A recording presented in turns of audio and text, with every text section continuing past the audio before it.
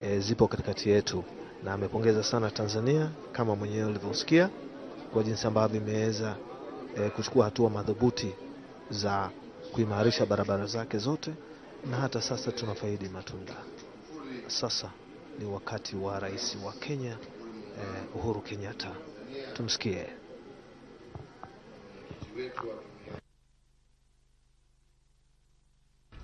Rais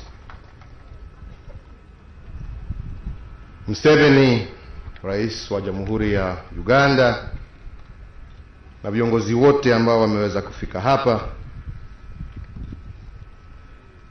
Mimi pia kama Balozi Mahiga nilikuwa nimeandikiwa ya kuja kusoma, lakini tofauti yangu na Balozi Mahiga ni ya kwamba mimi sina mtu wa kunilazimisha kuisoma.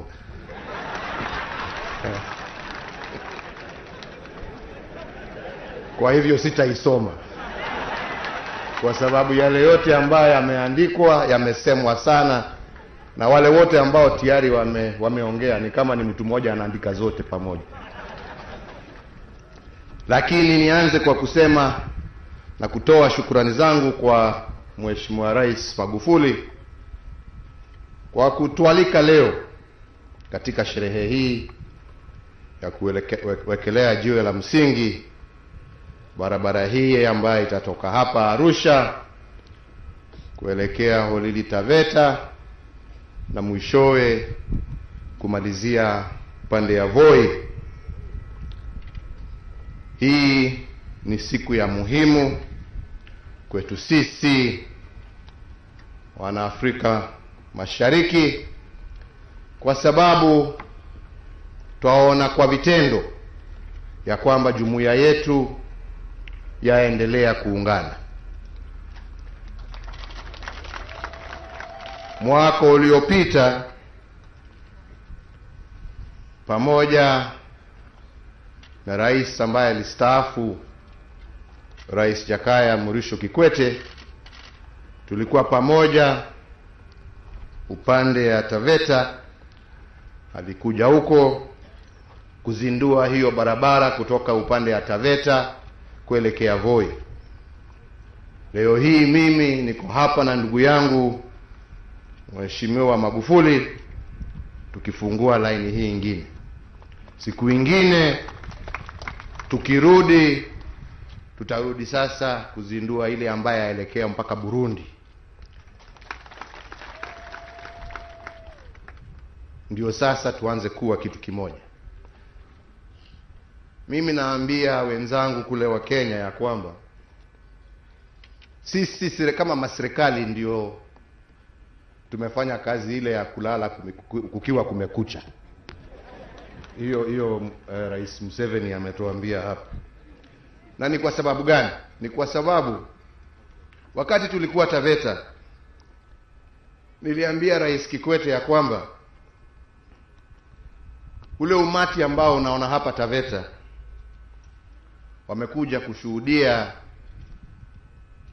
tukiwekelewa tukiwekelea jue la msingi hapa.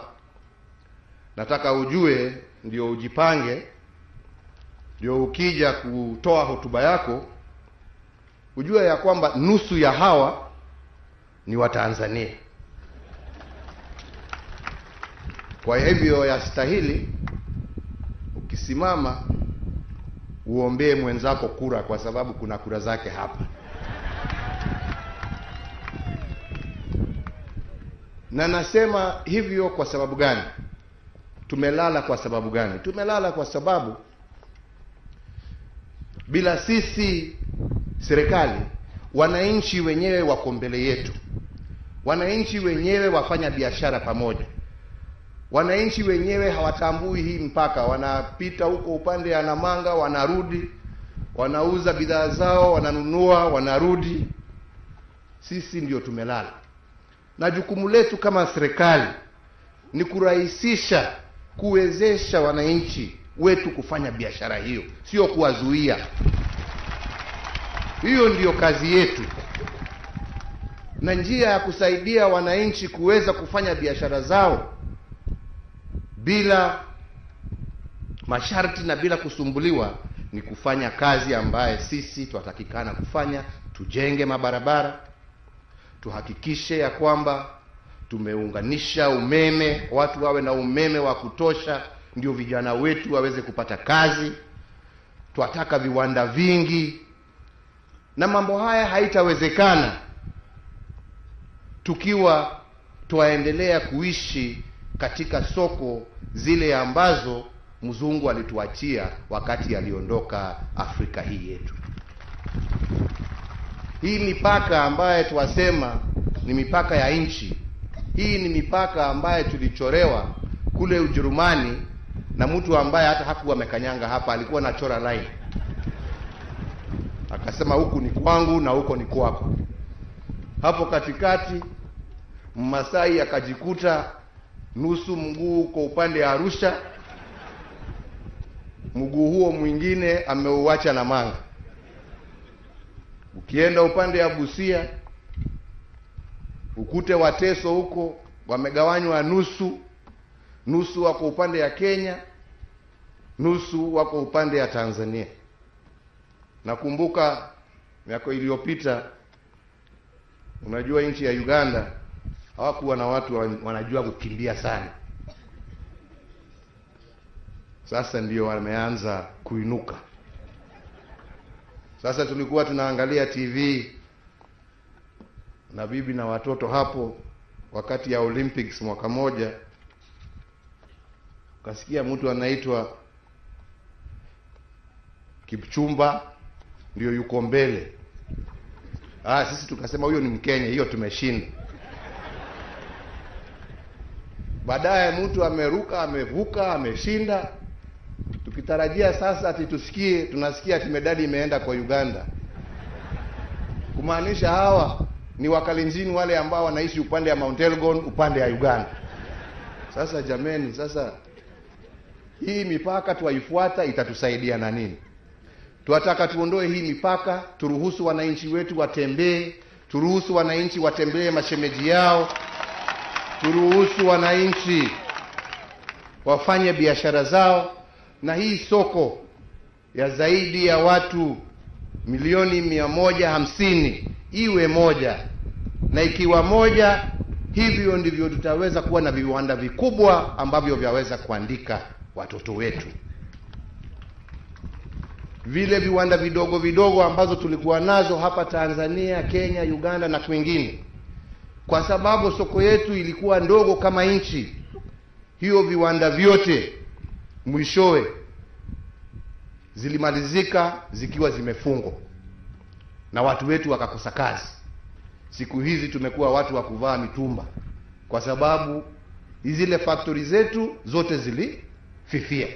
Lakini kama tungekuwa soko moja, watu wawe na uhuru wa kuuza bidhaa zao na vifaa vyao, those factories leo bado zingekuwa zipo na wananchi wetu wangekuwa na kazi na umaskini tungekuwa tumepigana nao, na hivi ndivyo tunataka kurudi. Na langu leo ni kuwahakikishia wenzangu wa Tanzania, wenzangu wenzangu wa Afrika Mashariki kwa jumla, pamoja sasa na South Sudan ambao wameungana pamoja nasi, ya kwamba sisi kama viongozi lazima sasa tuhakikishe ya kwamba yale ambayo tunanena tukija hapa mikutano Arusha, tunataka sasa tuyabadilishe maneno iwe kazi, kazi ambayo wananchi wataweza kunufiki, eh, eh, kufaidika, kazi ambayo itatuwezesha kumaliza umaskini, kazi ambayo itatuwezesha kuhakikisha ya kwamba tumewezesha wananchi wetu kuishi kwa njia ya staarabu, kuishi kwa njia ambayo wanafurahia nchi zao na wanafurahia Afrika yetu ya Mashariki. This is the objective we have. Na mimi nataka nimhakikishie kwa niaba yangu na kwa niaba ya Wakenya ya kwamba hii safari ambayo tumeanza na wenzetu tutaikanyanga, tutaitembea mpaka tufike Kanani ambapo tunataka kufika.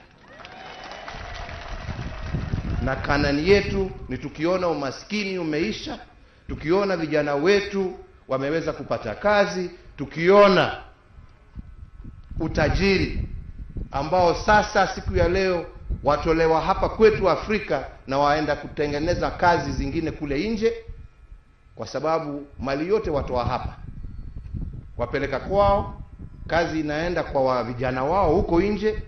Mwishowe sisi twagojea Dar es Salaam port au Mombasa port kununua yale ambao wameunda huko kuturudishia sisi. Sasa jameni, hiyo lazima tuseme, lazima ishi. Wacha sisi tuchukue mali yetu, tuchukue ukulima wetu, tuchukue madini yetu, tuchukue mafuta yetu na mambo yale mengine ambayo Mwenyezi Mungu ametupatia sisi wenyewe, tujitengenezee na tutengeneze maredio, tutengeneze matv, tutengeneze magari, to add value kwa mambo haya. Sisi wache tuende tukauzie wazungu, si ni namna hiyo? E, tusiseme ya kwamba wazungu kazi yao tu ni kuja kutuletea utalii. Tunataka tu sisi pia tuweze kuwa, kuwauzia yale ambayo tumeunda kwetu, na ndio tuweze kusaidia watu wetu eh, kukaa kwa njia ambayo inastahili.